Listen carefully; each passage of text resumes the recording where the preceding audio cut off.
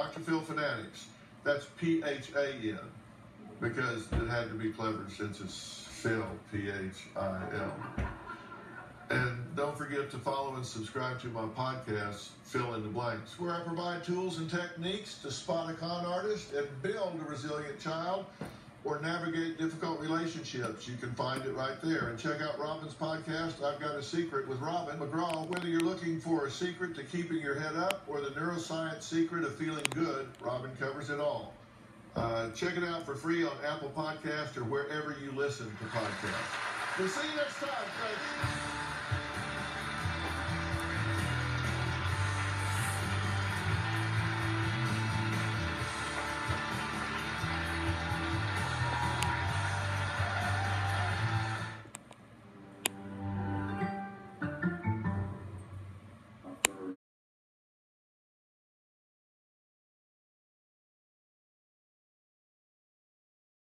You want to accept it wherever, whenever. You can't look at the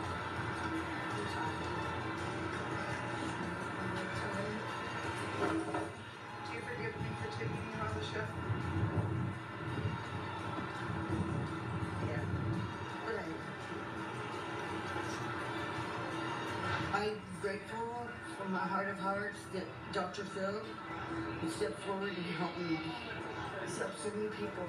And he is a wife. And this is Robin. This is a very beautiful, talented, smart woman. And I respect that. And um, I, I I can't be more grateful. I love you, baby. I love you too.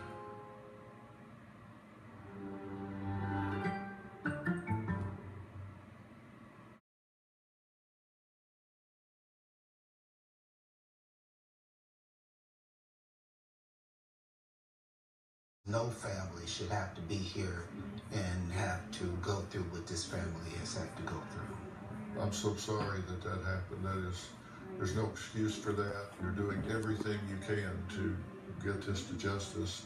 It's hard. But Dr. Phil, we thank you. Thank y'all for entrusting me with telling this story. Thanks so much. Thank you, Dr. Phil. Thank you so much. Thank you. We reached out to Courtney's attorney, Frank Prado, for a comment. He says Courtney's statements about the incident have not been released by law enforcement. Therefore, the family's allegation that Courtney gave conflicting statements about Toby's death is absolute conjecture. He denies Courtney abused Toby or any other man she's dated, calling the allegations absolutely false. He also denies Courtney ever attempted to stab a previous boyfriend. He claims Courtney and Toby had a tumultuous relationship in which both were involved in episodes of aggression. However, he insists it was Toby who physically, mentally, and emotionally abused Courtney. He claims there is evidence Toby was trying to control Courtney by providing her with Xanax, and as discussed in our interview with the family, he also accuses Toby of involvement with an aspect of human trafficking of Courtney. He says Toby's death was the result of Courtney defending herself in what he calls a fight for her life. He claims Toby was involved in the commission of a forcible felony that night, and Courtney had every right to defend herself against a much larger and stronger individual. Since we take this interview, Miami prosecutors have announced they are reviving a probe into Toby's death. We will certainly be following along as this case develops.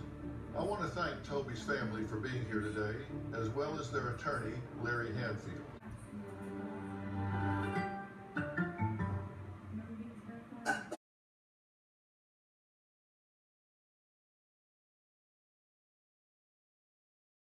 Go to my website, drphil.com, for details. We really have a good time here, right? Uh, you never know what you're going to find. Be sure to follow me on all my social media platforms and don't forget to join our Facebook page, Creative for Fans Just Like You. It's Dr. Phil Fanatics, that's P H A N. And don't forget to follow and subscribe to my podcast or Robin's. Mine is Phil in the Blanks. Robin's is I've Got a Secret with Robin McGraw. Check them out for free on Apple Podcast or wherever you listen to your podcast. We do lots of interesting things there that we don't have time to cover here. We'll see you next time. Thanks for being here. Good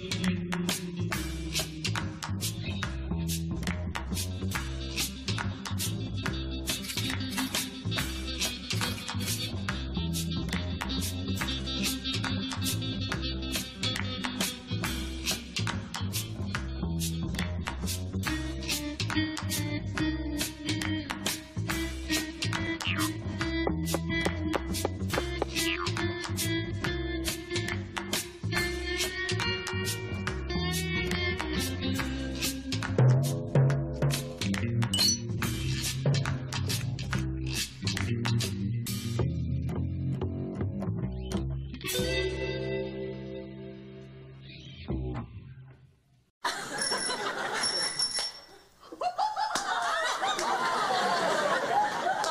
everybody.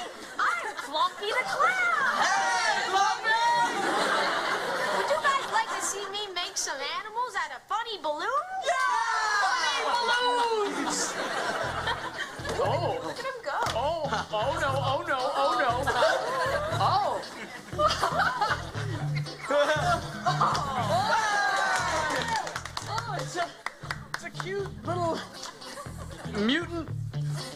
Giraffe. and for my next trick, uh -huh. I'm gonna make this portable CD player disappear. Woo! Bye, kids. Bye. Hey. Stop.